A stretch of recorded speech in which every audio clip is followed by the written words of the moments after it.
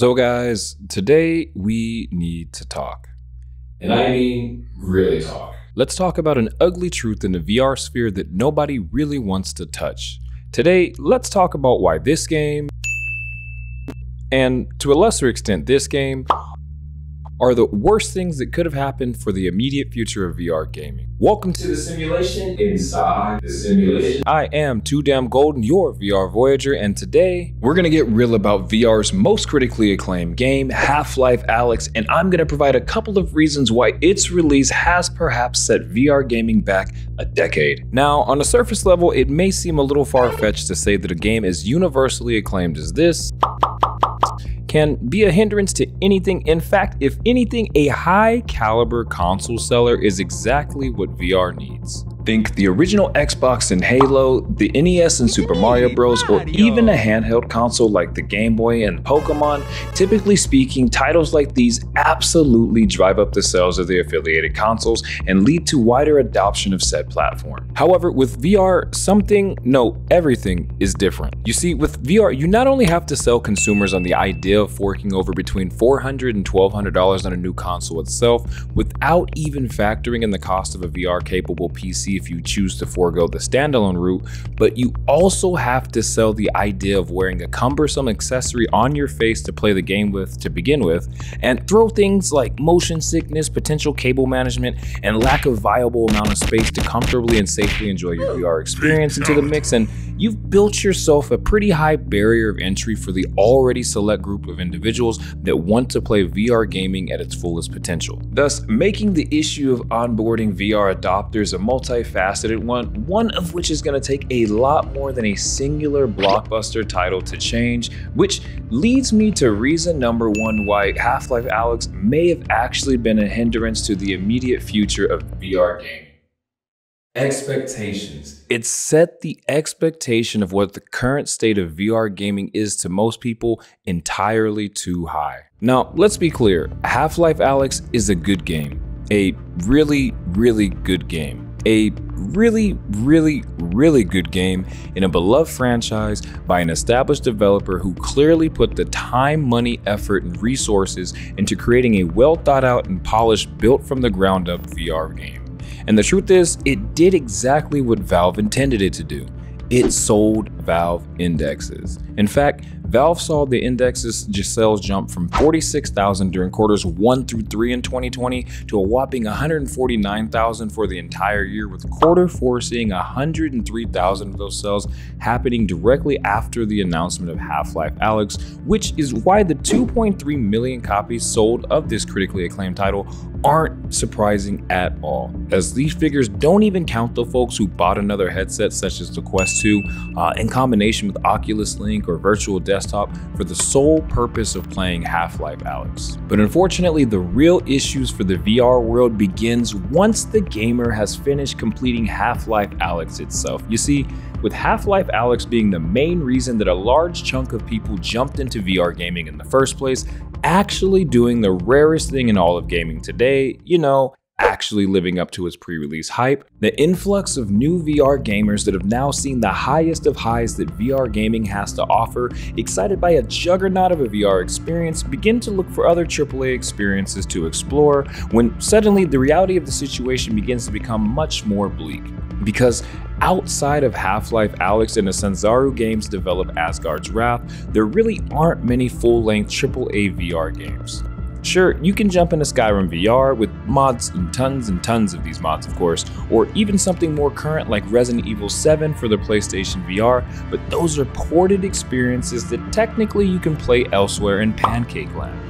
So now you have the issue that this large flow of people who are excited about the burgeoning technology of VR gaming are left in the dark searching for the next Half Life Alyx out there, when in reality, another Half Life Alyx doesn't yet exist.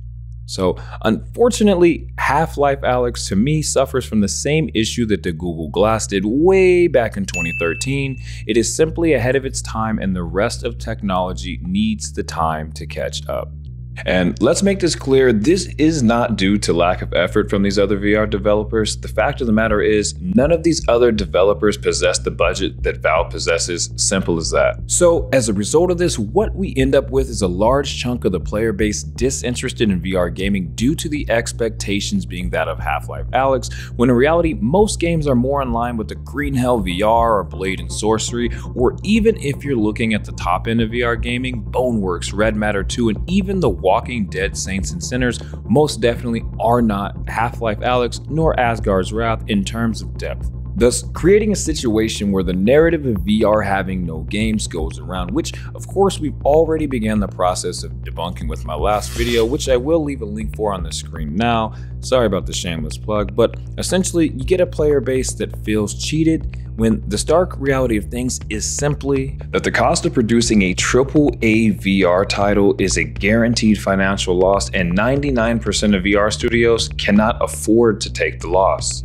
Finances the finances. Guys, there is a reason that most VR games aren't as polished as Half Life Alyx or Asgard's Wrath. Most VR studios are currently smaller scale indie studios, and titles of that scope take time and money. Let's take Asgard's Wrath for example, a title that had a team of 90 developers backed by Meta's millions and took three and a half years to develop. Now, the end result? Asgard's Wrath still stands as one of VR's highest rated games almost four years post release. Now, let's look at the main game of today's video, Half Life Alyx, which has had Valve's massive backing, in fact, the largest in Valve's history uh, in terms of developers, with over 80 developers working on this project, and an extended four and a half year development cycle, which culminated in the masterpiece of an experience that many gamers know and love today as Half Life Alyx. But for most studios, time and money aren't a luxury that they possess in the sense that while Meta funded Sanzaru and Valve can withstand the financial losses associated with large-scale AAA development, most VR studios cannot and are looking to turn a profit on their passion projects in order to fund their larger VR ambitions, which honestly is the other major reason why Half Life Alyx has potentially done more harm than good for VR gaming, in that it showed other larger developers that you can put all the love, care, and effort that you want into a VR project, and even if it sells well by VR standards, which it very much by all accounts did,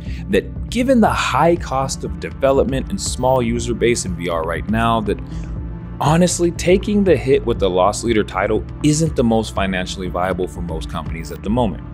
Even more so when you consider the current loss leaders like Half-Life Alyx, Asgard's Wrath, or even Beat Saber are being funded by corporations that have a dog in the fight in terms of VR hardware, whereas most developers simply do not. It is not financially viable to pour tens of millions of dollars into games that truthfully, not many people will play. I mean, critical and community acclaim aside, Half-Life Alyx has only ever hit an all-time concurrent player count on Steam of 16 16,459 players, with an average of 672 players at any given time in the last 30 days, as opposed to the 32,635 all time high player count of the 2020 Resident Evil 3 Remake, of which still averaged 696 players in any given time, or 24 more than VR's most critically acclaimed game.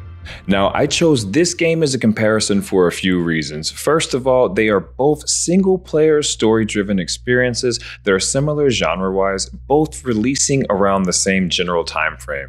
Now, with the Resident Evil 3 remake releasing on multiple platforms and PC easily being its least popular, uh, it does give us an opportunity to see what these gaming studios see market wise. VR's best rated game with massive love from the gamers themselves as of January 25th, 2020. 2023 has a slightly lower impact on the gaming world than a remake of a 24 year old game that itself garnered mixed to slightly above average reviews. And again, we're comparing this solely to its PC statistics that are invariably its lowest when compared to its console counterparts, Switch excluded, of course. Now, why would I, as a money driven gaming conglomerate, invest money into a perceived fringe technology when I can easily churn out an average, hell, even garbage title and still earn more revenue by slapping a ton of microtransactions on actual trash. Ultimately, it's the smaller developers who actually care about the technology itself that end up getting hurt in the end because when you have a market that expects every single title uh, in VR to be a Half Life Alyx uh, or an Asgard's Wrath. Even amazing VR experiences like Echo Arena or Super Hot VR end up feeling cheap and the community feels cheated, thus creating negative word of mouth around the VR technology as a whole. Or in another lose-lose situation for the indie developers, they are forced to prolong development cycles, costing them more resources that they really don't have the access to to begin with, and with much smaller teams than AAA studios, thus creating a situation where the entirety of their company's existence potentially hinges on the success of one singular game in a still developing market. An undoubtedly stressful situation for what should be projects of joy, love, and passion at this particular particular stage in this particular technology. VR gaming needed the time to develop an arsenal of fully fleshed out full-length games via smaller studios for at least the next 5 to 7 years before a colossal title like Half-Life Alyx or even Asgard's Wrath disrupted the conversation so that after the gamer was done with those titles, they felt that they had a wide variety of that same quality of game to fall back on. Because while having a console seller is great in theory, you have to remember that within the realm of virtual reality that you aren't just selling a console. You are selling a new technology. So now VR is in a weird place where the bigger upcoming titles like Skydance Interactive's Behemoth have to be absolute hits and smaller indie studios simultaneously have to massively up their quality with tight budgets all because of the expectations that the VR community set due to Half-Life Alyx being way too early to the VR party. So that just about wraps up today's video. Hopefully you guys enjoyed. If you did, be sure to like, comment, and subscribe. Um, let me know in the comments below, do you guys agree with me or do you think I'm overreacting? Uh, is Half-Life Alyx's polish uh, something that has negatively impacted the current state of VR development? I have brand new videos coming at you guys every Monday and Friday, so make sure you're subscribed for that. Uh, pretty much, thank you so much for watching, guys. I am too damn golden, your VR Voyager, and thank you for joining me in the simulation. Inside simulation.